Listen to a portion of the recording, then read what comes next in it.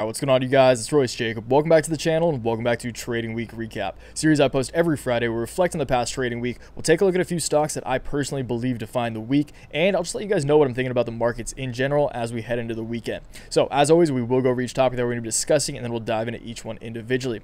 In front of us, Trading View, we have a few charts to look at today. Excited to cover those with you guys. Um, but we will kick it off. I have decided that this is how I am going to start the Friday Trading Week Recap episodes with today's newsletter that I sent out this morning. So, we'll read through this guy. Um, there's actually some news about the newsletter in this as well that I want to talk to you guys about too. So we'll cover that first. We then have this chart about Tesla and Bitcoin that TradingView published. So TradingView, as many of you know, this is the this is the platform that we use to look at charts.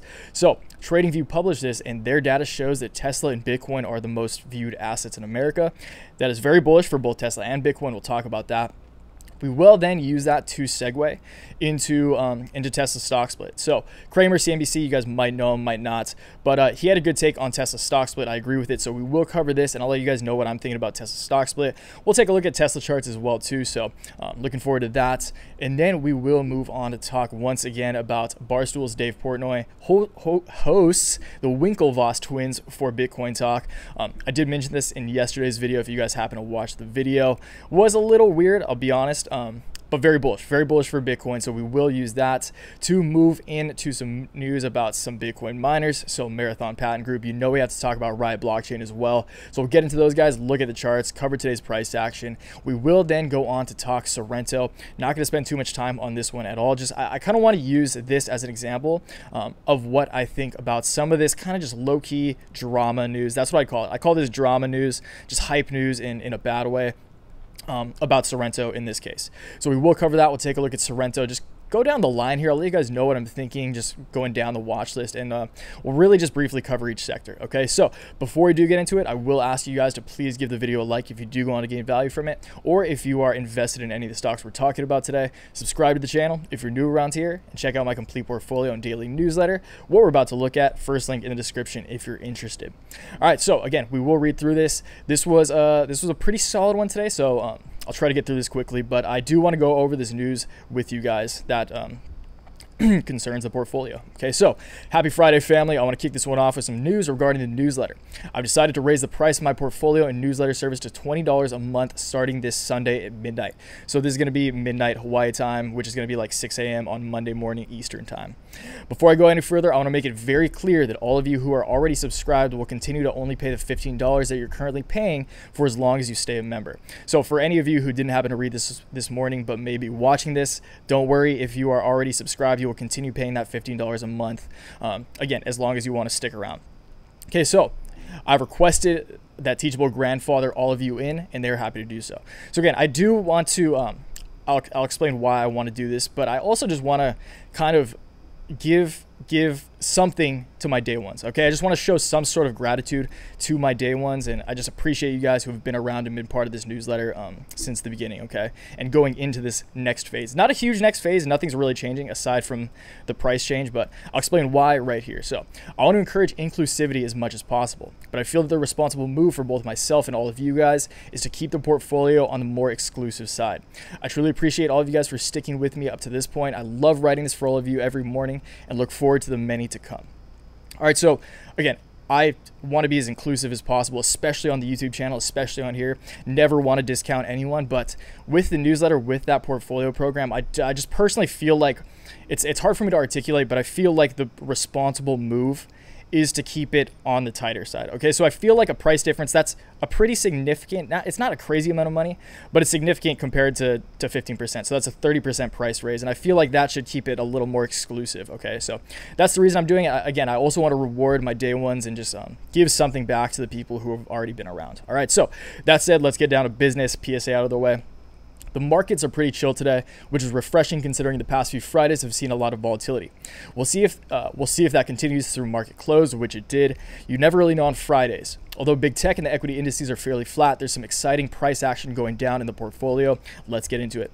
Okay, so one, Riot Blockchain isn't looking quite as green as I was hoping it would. Um, Again, I thought it was going to be a lot more green today if you guys caught yesterday's video, but still did pretty well, doing well after hours too. We'll take a look at the chart right after this.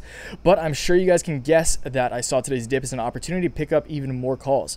I'm getting irresponsibly bullish on Riot at this point, but following the news they just released, see link in article below. So um, I talked about this link about um, Riot getting a lot more mining machines in yesterday's video, so check that out if you uh, didn't want to, or you guys can look it up if you want, I guess. But um, uh, along with the general strength of the cryptocurrency market as a whole, I feel it is primed to take off from almost every angle.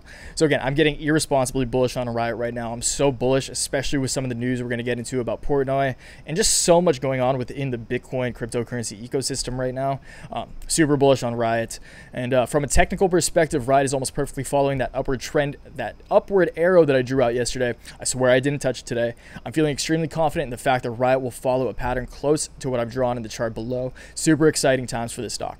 Okay, so this is the chart I attached. This is on TradingView. We will take a look at this. Um, you know what? I'll just bring it up right now. And as we go through this newsletter, I'll kind of bring up the stocks that um, we're talking about in the newsletter. Okay, that's actually, I figured that's a better way to structure this. Okay. So we have right right here. Again, this is exactly what I sent out this morning. We're on a daily. Let's go to uh, like the hourly to make it look a little cleaner. Okay, so we're on the hourly right here. And again, this I, I did draw this yesterday. It's pretty, pretty darn closely following that. Um, again, that's not a crazy feat on my part, but it does look nice that it's just right on that arrow. And uh, I expected to follow something similar to this. It, it would surprise me from both a technical and fundamental perspective to see Riot drop any lower, especially considering that news they, they just released in regard to, like I was talking about, those those new mining machines, which will allow them to mine more Bitcoin and make more money. Um, I mean, Riot's looking great. From a technical perspective, it did set a higher low right here. I, I, do believe this is the low. There's no chance for head and shoulders playing out in any sense. And um, I think we're just on our way to new highs here. And uh, again, you guys remember what Riot has done in the past. Riot in 2017 reached a high of $45. It's currently at a market cap of just $130 million. That is tiny in the grand scheme of the markets. So there's a lot of room for growth here, especially if the right hands get involved and there's enough attention put on this sector. And um, again, the innovational capabilities of this sector. All right, so I think Riot will will it's very not very likely, but get you guys my money's on this. This might this very well could not play out, but that this is what I'm guessing. Um, we'll just kind of we'll go up, test this area that was floating around for a little bit, maybe go sideways around there until it ultimately breaks out again and comes up and retest this uh, this absolute trend line that it started setting back in May. So again, use this as a solid trend line back in May. I still think it will um, it will abide by this trend line and come up and once again retest this area of resistance at about $5.75. That again, give or take, you guys know the deal, but around that area. Okay, so super excited on Riot. Let's go back here and move down.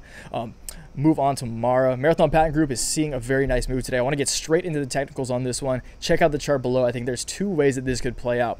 One, we play out a head and shoulders pattern and retest the $2 region that we saw before this huge rally. I think that is extremely unlikely, but just keep an eye out. Two, we continue the uptrend and move up to ultimately test my first midterm price target around $7.50. I think this route is much more likely considering the bullish fundamentals surrounding the sector. All right, so again, we'll go back here, take a look at Amara. So Mara, let's go once again to like the hourly, make this a little easier to look at.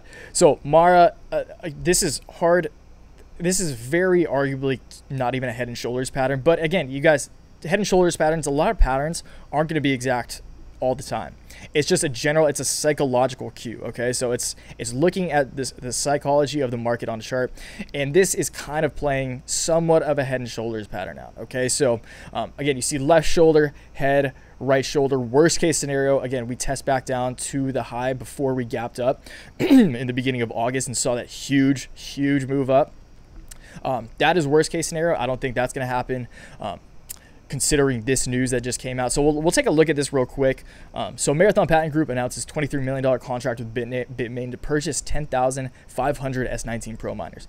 Big news, very similar to the news uh, Riot just dropped. This article is very similar. Okay, so um, I don't, I actually don't even need to read this to you guys. The title says that, but this is super similar to the Riot article as well in what like the uh, the CEOs and chairman said. Okay, so Marathon's chief uh, CEO Merrick Okamoto, shout out to my fellow Japanese, stated the execution of this contract with Bitmain represents a milestone event for our company. This investment is expected to result in Marathon being one of, if not the largest Bitcoin miner in North America.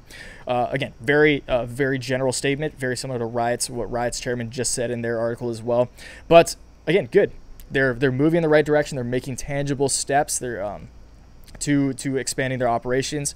And uh, when you expand your operations, again, you guys, you have more mining machines. You can mine more Bitcoin. Bitcoin price of Bitcoin goes up. All those all those like little little pieces of the pie do fit together and create for um, a super tasty pie. That was a weird analogy that I just went for. You guys get the point though. Everything's playing together. The stars are aligning for these stocks in my mind, and I'm super bullish. So that is why this is uh, a very pessimistic scenario. I don't think it's very likely to play out. What I do think will happen is we'll probably come up, um, just break the previous highs here, um, come down once again, retest the high that it set back in early August, just about a week ago. Time is going so fast, um, and then it'll again come up, break a new high, come back down, retest the previous high, and then go up to ultimately test uh, kind of my longer term time horizon, uh, not, not even long term, more like medium term time uh, price target, which is at $7.50. I'll show you guys why that is. So, zoom out here. Riot in the past, back in 2017, set a lot of highs around this point. Um, again, you see a lot of candles touching the 750 area. 750, a pretty psychological area. 750 10 dollars. Once it passes 750 10 dollars is probably the, the yeah. So like nine nine dollars you see some candles over there. So if you're ever trying to work this out for yourself guys which i always recommend you do always do your own research look at your own charts make your own conclusions you know the deal. Um, just look for where Riot has spent the most time and where it's peaked prior to pulling back because again that's very telling of what it will likely do today. Psycho- psychology on charts you guys remember that all right, so that's Mara. Let's uh, let's keep moving here. Sorrento is seeing a dip today, but I'm still very confident in the uptrend it has developed. I believe that it'll stay within the channel I've drawn C chart below until they release some banging news and see another breakout to new yearly highs. Moderna is pretty flat today. I seriously just have a gut feeling that they're coming at us with some good news soon. Guess we shall see. Okay, so Moderna is is flat. I don't even know if we're gonna look at Moderna right now. I just want to establish that I'm still fundamentally bullish. I'm not even like thinking about much more than just I think Moderna's going to succeed and they're about due for another rally. I've been following Moderna for a long time. I have the gut feeling. We'll see if I'm right or not. I don't know. But um, again, let's look at Sorrento. We'll touch on this real quick, and I just want to talk to you guys. This this definitely was a catalyst in Sorrento pulling back over the course of this week. If you guys have been following it, so not even going to look into the article, just title: Sorrento shares rebound as Biopharma denies short seller allegations, threatens legal action. So you guys have to understand I've played small cap stocks for the majority of my career. That's like how I got into trading was is, is very high volatility, very small cap, very high risk, um, very speculative stocks, I should say. Um, again, I'm, they're not risky in, in my eyes, but they're small stocks, and small stocks come with a, a lot of kind of shady practice sometimes. Unfortunately, that's just reality. But um, again, a small market cap does leave these stocks and assets prone to manipulation, which will happen, and that's why like this, like lawsuits, legal things like at, at this scale like just kind of child's play in my mind. Not child's play obviously it does affect the stock. It can be detrimental. It's just never played out on my time horizon. So like this makes short term this does make short-term price action like uh, this does initiate short-term price action, which is what we saw it, it, when this news was initially released about some uh, insider trading and whatnot. Uh, they did like they saw they saw it. They saw it. They saw the red. All right, but this doesn't actually play out on long-term time frames. This never really fazes me, you guys any news in in this category again in this kind of drama category not super tangible news and not like the the treatment is just a, a flop um, doesn't faze me. So just know that. So let's move on to sorrento. We'll take a look at sorrento right just so let's move down srne right here. So down 4.8% on the day. Let's go back to um, over here. So again I, I just think sorrento is likely to follow this channel. You're seeing somewhat of a I mean, I expect kind of an ascending wedge or an ascending triangle, I'm sorry to play out here, ascending triangle, uh, traditionally bullish pattern. So we'll probably come up, retest, uh, retest the $14 region, probably come back down to retest what is it now uh, an upward trend line, a line of supports. So it'll probably bounce off, uh, hit 14. I'm thinking, again, you guys, this could very well not happen. I, I, have to keep reiterating that. So maybe touch 14, come back down to like the 1250 region, and then once again go up to retest this uh, this pretty conservative upward trend line that we set at the beginning of August, okay, which would be about $17. Until, unless they release some great news, I believe then we'll just skyrocket to a new high. And ultimately, my price target is $27 for Sorrento, um, if you guys haven't heard me say that before. Okay, so that's Sorrento. Let's move on here to uh, crypto. And this will actually segue nicely into the Bitcoin, uh, Bitcoin Tesla talk we're going to have right now. All right, so we'll close this one out with some crypto. Bitcoin is looking strong today, but the real winners in my eyes at the moment are Ethereum and Ripple, um, which are ETH and XRP. Altcoin season is here and they're picking up steam quick. These two are significantly below their all time highs, and I personally expect a crazy amount of growth potential ahead for all of my altcoin plays. I think the new bull market in this sector has entered. Uh, I think that the sorry, I think the new bull market this sector has entered will be significantly greater than the last one. There's so much new money chasing shiny, world-changing assets out there right now, and cryptocurrencies check both of those boxes. Bullish. So can't say it enough. You guys so bullish on Bitcoin, cryptocurrency as a whole. Uh, you see Ether killing it today. We'll just take a quick look at ETH. Um, so ETH, so Bitcoin again. Oh, Bitcoin's actually up right now. Bitcoin's doing super well. Just uh, so the trading view refreshes around 2 p.m. my time, so that's 50 minutes ago. So it's good to see that in the last 50 minutes, Bitcoin's already up 1.5 percent. I'm excited to take a look at that in real time with you guys. Okay, so ETH. Uh, again, ETH just broke out just like last night, I believe, broke out. We're seeing another move up. Just keep setting those new all-time highs. With this stuff, I just, I really just I don't even want to look at the daily. Even that's too short for me. I want to look at the macro time frame. So we're looking at the weekly right now. And again, you guys, just look at what ETH has done in the past. Uh, ETH once reached an all-time high of almost $1,500, about 1,400 give or take, you know. So it can still like 4x from here and just be around. It would be above previous all-time highs, but not much. Okay, so it could still 4x from here, and if it 4x, it would just be uh, at about previous all-time highs, which the fundamentals around this space are so much more, so much stronger right now. Bitcoin, ETH, XRP, just the fundamental landscape is so much more supportive in these things. There's so many more projects uh, being built on Ethereum. ETH 2.0 is is um, is upon us. That's huge for the Ethereum blockchain, um, just the ETH protocol overall. So super exciting times here. Uh, I mean, you guys, I, I'm convinced myself that this is just the beginning of the next bull market. Let's take a quick look at Bitcoin here, um, just because oh man, yeah, look, it's it's it's thinking about it's thinking about retesting this line that I've had drawn here for a long time. So again, Bitcoin. Actually, sorry, let's zoom out a little bit. You guys see here, Bitcoin is is coming up quick. Um, previous all time highs obviously around 20k. I think that's like I've said many times, mid September is my guess that we will reach 17K. Probably test this area right before um, the 20K levels. Pull back. We'll probably pull back after 17K, and then it's a it's a rip to 40, 50, 100K, no matter uh, depending on how this plays out. Okay, so. Um, I mean, just so so bullish on this. Let's take a look at the. Uh, sorry, let's take a look at this chart, which is cool. So this is again a chart from TradingView themselves. They published this. The guys who own this entire site. Um, published this, and they say Tesla stock is the most viewed asset in America. Our data shows that throughout July, Tesla was the most viewed stock in 31 states. Bitcoin was not far behind. That's great news. Again, you guys, it's exposure. That's the biggest thing when it comes to Bitcoin specifically, amongst almost all assets and stocks in my eyes, is just exposure. It's just people understanding what it is and educating themselves. So since the start of the year, Tesla stock has almost tripled in price. Meanwhile, Bitcoin is up 60% year to date. So what I see here is you see some similarities in this charts, right? Both specul like dude, Tesla is realistically such uh, is is a bubble right now. I'm not afraid to say that. I've said it many times before. I love Tesla as a company. Uh, I think Elon's an amazing entrepreneur and one a, a great human being.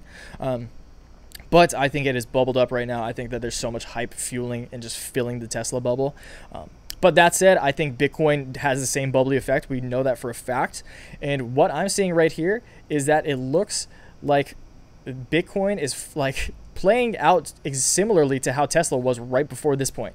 So if you see here, you see some uh, sideways movement, you see that little uptrend, that little hill, little hill, and then you see the, the parabolic nature kick in, okay? So I think that we're like right here on Bitcoin, and uh, we're about to take off. So my chart backs that, what we were just looking at here. Uh, I think we're about to take off right here, and then, yeah, shoot up to like 17K. And that is, I mean, this is the more I look at this, the more I'm convinced of what was just kind of a theory, but now I'm like pretty, I'm feeling pretty good about that happening. So not financial advice. You guys know the deal. All right, so let's get into this. Cramer says Tesla stock split is good for the market because it appeals to young investors. Let's talk Tesla. Let's talk the stock split. I want to give you guys my um, my take on this. So CNBC's Jim Cramer. You guys might recognize his face. Some love him, some hate him. I uh, I fall on both sides depending on what he's saying. CNBC's Jim Cramer and Tesla's decision to split said Tesla's decision to split its stock is beneficial for the market overall since it may help young people get interested in buying individual equities. I think the idea of getting newer, younger people involved in the stock market who aren't just brainwashed to put money into index funds is terrific. Um, however, Cramer cautioned that Tesla's five for one split does alone not add any additional value to the company. So that's I've had some people hit me up like now that now that Apple is doing a stock split, now that Tesla's doing a stock split, um, should I buy? Is it a good time to buy? And that's exactly what they want to happen. That's exactly what they want you got like people, newer investors to think like, oh, it's cheaper now. It obviously means it's more valuable, which is like the most obvious, um, the most obvious tactic if you understand what's going on. But but I know anecdotally for from all the people who've hit me up and asked about these um, in the past week that it works. So it's very smart for Apple and Tesla to do this. Again, Robinhood does fractional investments, so uh, that I mean, Robinhood kind of beat them to it in a sense, but still having a, having a lower price stock, uh, like price per share, does give the impression that it's cheaper and it's a it's more of a bargain as opposed to a thousand plus dollar stock. So, uh, great move, great just strictly marketing move. It's nothing but that. Again, no value is added to the company aside from getting uh, newer traders to buy your inflated stock. All right. So sorry, sorry, Tesla Moon boys, uh, roast me in the comments. All right. So um, actually, you know, we'll take a we'll take a look at Tesla real quick. Uh, Tesla. EVs, right? Uh, so Tesla up 1.8% today. Um, Tesla is just, I mean, I yeah, again, I don't trade Tesla, you guys, so I'm not on this chart much. That's why it might look a little goofy. So let's go to the one day here to see what it's doing on the daily. So Tesla is just absolutely just ripping still. Um, still not at all-time highs. It will be interesting to see if it can once again retest this like $1,800 region. Um, so insane. What's Tesla's market cap at right now? Let's go down here. Over $300 billion. That's crazy. That's crazy for Tesla and like their financials. But again, Tesla's like epitome of a story stock. Their mission's great. They're uh, changing the world for the better, in my opinion. So I get it. People want like investors. This just proves why Bitcoin and Tesla are the most searched stocks on TradingView because they're the most innovational. They're the most innovational assets in the world. So Tesla and Bitcoin aren't even comparable in terms of what they are. Bitcoin is an asset class similar to it's digital gold. That's how I explain it. Tesla is actually a company with financials and stuff. So that makes it a little different and a little more prone to becoming a bubble, like like a actual like um, defined bubble. But um, yeah, I mean both both are looking super good. I wouldn't be surprised to see Tesla reach new all-time highs as well. Okay, so moving on, Barstool's Dave Portnoy host Winklevoss twins for Bitcoin Talk. Huge news. This is like the biggest news of uh, of the week, probably in my opinion. If you guys saw the video, I did again. I did mention it in yesterday's uh, yesterday's whatever crypto convo I posted yesterday. Uh, again, you guys go check it out. It's a little weird. I, I wish they did a better job of, of talking to Dave in it because he they left he le- they left Dave's house, which is a nice house by the way. Makes sense. Dude's rich. Um, they left leaving him wondering. They didn't do a good for for two kingpins, for two of arguably the most competent individuals within Bitcoin and cryptocurrency. They did a very bad job of articulating why Bitcoin's important. All right, so if you guys have to, if you guys are Bitcoin bulls and uh, you, are ever trying to tell your friends about Bitcoin, have an elevator pitch ready. All right, mine is roughly Gold 2.0. It's digitally, it's pro- the only provably scarce asset on the entire planet. There's only 18 million in existence right now. There's only ever going to be 21 million to exist. That's in the code. That will not change for as long as humans and computers and Bitcoin are around. All right, so um, again, Barstool Sports founder Dave Portnoy posted a video of his meeting with Gemini Exchange founders Tyler and Cameron Winklevoss on Twitter. You guys may recognize these guys if I haven't said that from the Social Network movie with Mark Zuckerberg. They technically did found Facebook. All right, so um, very, I mean, these guys are trend. These guys know how to spot trends. I'll just say that much. Portnoy, also known as Davey Day Trader, king of the day traders on Twitter for his stock trading antics, recently invited the Winklevoss twins over to his house to teach him about Bitcoin via the August 4th tweet. After briefing Portnoy on the basics, the twins guided the Twitter trader through a few purchases on Gemini Using the 250K he start, uh, statedly sent to the exchange before their arrival, the trio even discussed Link after Portnoy inquired about the asset. Hey, you guys, did I mention to you that Chainlink is the first video that I made in regard to investing? Go check it out if you want to hear me sound stupid. so, um, again, uh, super bullish just for crypto, uh, crypto and Bitcoin as a whole. Just exposure big, Dave is like arguably the loudest voice amongst the new retail trader, retail Joe, Robinhood day trader movement.